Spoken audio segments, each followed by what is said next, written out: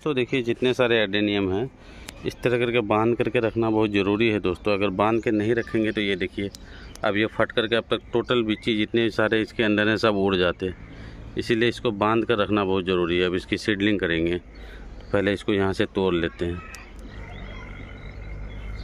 बाँध के नहीं रखते, ये पूरा उड़ जाता है दोस्तों।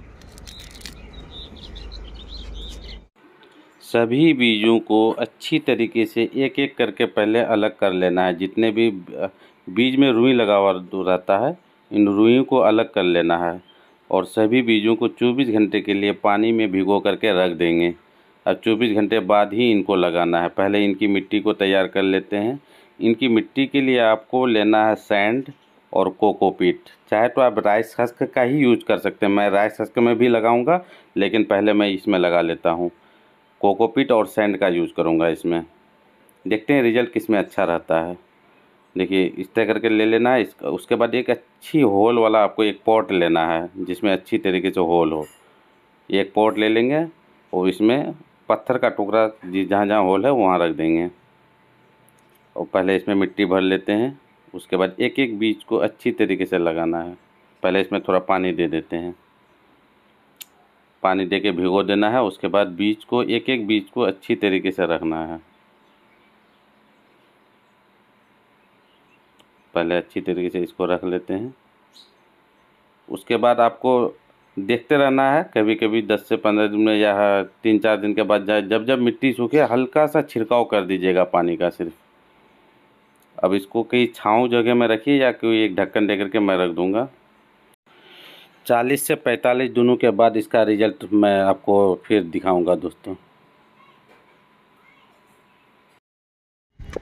चालीस से पैंतालीस दिनों के बाद ये देखिए मेरा रिपोर्टिंग करने के लिए मेरा अडेनियम तैयार हो चुका है। अब इसमें पाँच से छः पत्ते आ गए हैं इसमें, किसी में छः पत्ते, किसी में पाँच पत्ते। आपको दिन के हिसाब से नहीं, पत्ते के एक मेच्योर कम से कम मेच्योर जब प्लांट हो जाएगा तभी आपको रिपोर्टिंग करना है। अब क्योंकि अगर रिपोर्टिंग नहीं करेंगे तो ये प्लांट ज़्यादा फिर बढ़ नहीं पाएगा। देखिए, ये वही सॉइल मिक्सर है कोकोपीट और सैंड में मैं जो लगाया था।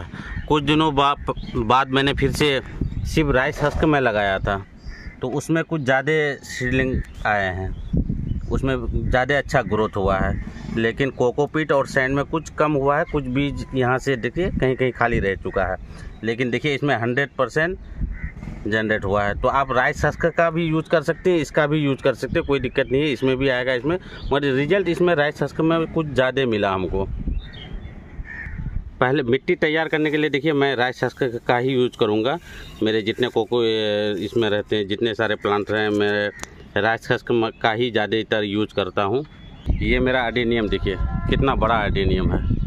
ये देखिए, मेरा राइस हस्क में ही है। ये देखिए। राइसस का और सैंड का यूज़ किया हूँ मैं। इसके कोटेज देखते हैं, एक हाथ से पकड़ा नहीं जाता है। इतने बड़े हो गए हैं। अभी मैं तैयार किया हूँ, फिर से इसमें, देखिए, फिर से सीड आ गया है। फिर से मैं इसका बीज निकाल करके इसी तरह सीडलिंग कर लूँगा। बहुत बड़ा प्लांट है दोस्तों। इसीलिए मैं राइस हस्क का ही ज़्यादातर यूज़ करूँगा। इसमें मैं, देखिए, ये सैंड और कोकोपीट में जो सीडलिंग किया था, उसी का मैं इसमें मिक्स करूँगा ये। ये दोनों मिक्स कर लेंगे।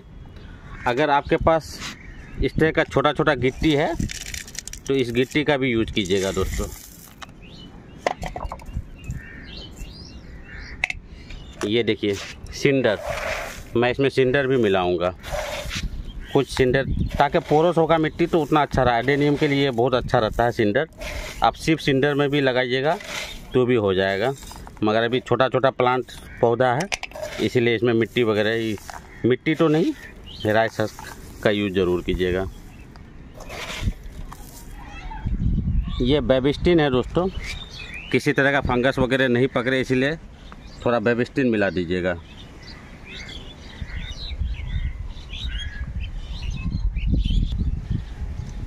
ये बॉन मिल है। हड्डी का चूरा। बॉन मिल भी आप थोड़ा मिला लीजिएगा इसमें।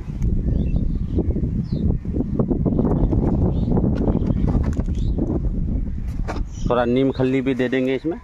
ये देखिए, नीम खल्ली है। नीम खल्ली में बहुत तरह का न्यूट्रन भी मिलता है और कीटी वगैरह या किसी तरह का फंगस भी पकड़ने नहीं देगा। अब इसको मिक्स कर देना है।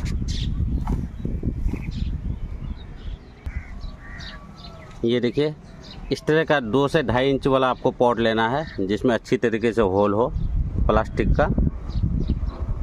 इसी तरह करके मैंने 50 पॉट लिया है। इस पचासों पॉट में मैं ट्रांसप्लांट करूँगा।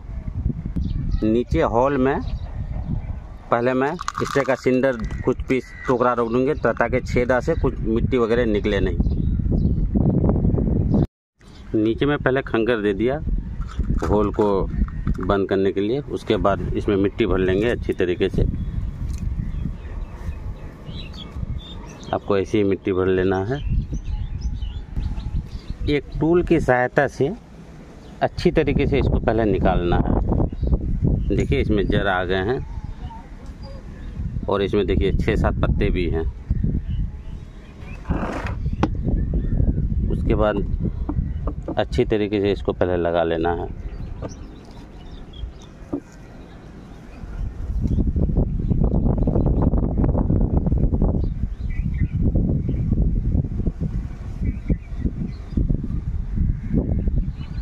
लगाने के बाद इसमें अच्छी तरीके से पानी आपको वाटरिंग कर देना है। इस तरह का एक ही ले लेना है। उसके बाद अच्छी तरीके से भिगो देना है इसको। इसी तरह सब पॉट में पहले लगा देता हूँ, तब उसके बाद दिखाता हूँ। सारे पॉट में मैं सीडलिंग लगा लिया। और देखिए, ये मेरे पचास प्लांट अब इसमें लगा दिए हैं। अभी भी बहुत सारे प्लांट बचे हुए हैं दोस्तों। देखिए, अभी भी मेरे इतने सारे प्लांट बचे हुए हैं। मैं इसको भी कुछ पत्ते और निकल जाएँगे, तब इसको मैं लगाऊँगा। वो प्लांट कुछ बड़े हो गए थे तो उसको लगा दिया, इसको रहने दिया। ये कुछ प्लांट और थोड़ा बड़े होने के बाद इसको भी ट्रांसप्लांट कर देंगे। लगाने के बाद देखिए दोस्तों, इसमें एक इस तरह का कंटेनर लेंगे, जिसमें सेब वगैरह, फल वगैरह आता है। उसी तरह का कंटेनर ये जाली वाला है, उसी तरह का लेंगे।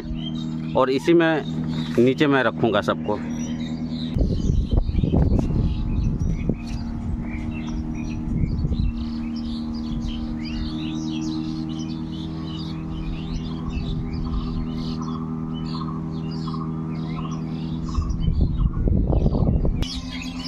इस तरह रखने के बाद इसको अच्छी तरीके से भिगो देना है दोस्तों।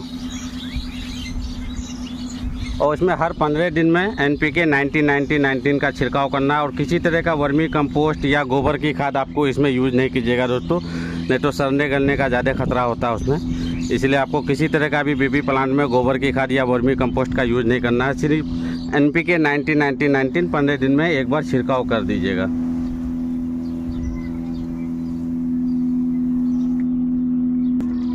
कंप्लीट होने के बाद आप इसको किसी शेडी एरिया में रखिएगा, जहाँ छन करके धूप आती हो। या आपके पास वैसी जगह नहीं है। या अभी देखिए मेरे यहाँ अब बहुत ज़्यादा धूप तो है, लेकिन अब बारिश होगी। इसलिए मैं छत पर ही रखूँगा और इस तरह करके एक पन, पोलोथीन ऊपर से ढक ढक देंगे दोस्तों, ताकि बारिश का पानी इस पर नहीं गिरे। देखिए, पोलोथीन से मैंने ढक दिया, ताकि बारिश भी होगी तो इस प्लांट में बारिश का पानी नहीं गिरेगा दोस्तों। और ऑक्सीजन इधर से देखिए, ये छेदा है तो इधर से उसको ऑक्सीजन भी मिलते रहेगा। जैसे नर्सरी में पोली हाउस बनाते हैं, ऊपर से पोलोथीन देखिए उसी तरह, एक तरह का मेरा एक पोली हाउस बन गया दोस्तों। इसको छन करके धूप भी मिलेगी, इधर से ऑक्सीजन भी मिलते रहेगा, और ये प्लांट मेरा अच्छा ग्रोथ करेगा। सिर्फ़ इसको खोल करके, दो दिन, तीन दिन में जब पानी इसमें सूख जाएगा तो ऊपर से मैं सिर्फ़ पानी का छिड़काव कर दूँगा, और हर पंद्रह दिन में एन का इसमें छिड़काव करेंगे दोस्तों। वीडियो अगर अच्छा लगा हो दोस्तों तो लाइक और सब्सक्राइब ज़रूर कीजिएगा दोस्तों। बहुत मेहनत करता हूँ मैं वीडियो बनाने के लिए। इसीलिए लाइक और सब्सक्राइब ज़रूर कीजिएगा दोस्तों। Thank you